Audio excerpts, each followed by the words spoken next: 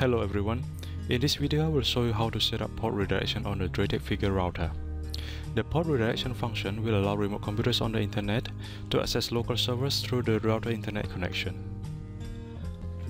In this example, we have a DrayTek Vigor router with WAN IP address 192.168.100.200 and there are two servers connected behind the router, with the first one is HTTP or web server with local IP address 192.168.1.21 and port number 80 and the second one is VNC server with IP address 192.168.1.20 and port number is 5900. Since the router default HTTP management port is also 80 and will conflict with our local web server, we need to change to other port number like uh, 8080. First log into the router web page and on the left tab select System Maintenance, then Management. Then on the management port setup, modify the HTTP port to 8080. Click on OK. The device will reboot after the configuration saved. The next step is to create port redirection rules for the two local servers. Let's start to configure the first rule. Go to NAT then port redirection. Select an index to configure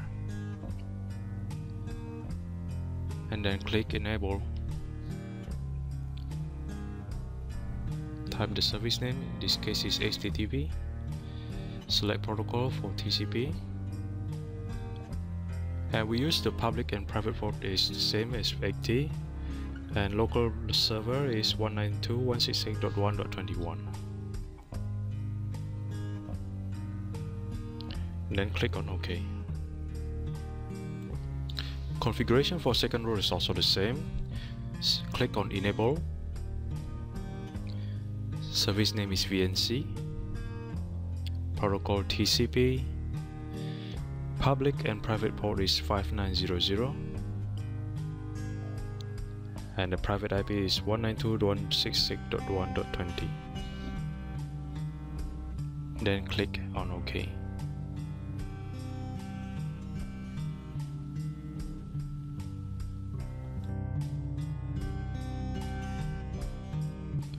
Now let's test the configuration with the VNC connection. Open the VNC viewer, put the server IP and then connect.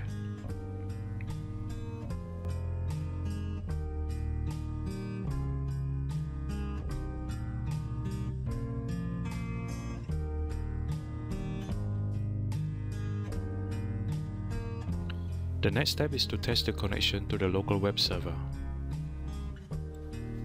Open the web server and type the router's WAN IP 192.168.100.200 and we will see the web connection is redirected to the local web server. Thank you for watching. For more information, please visit www.draytek.com.au or email us at sales at.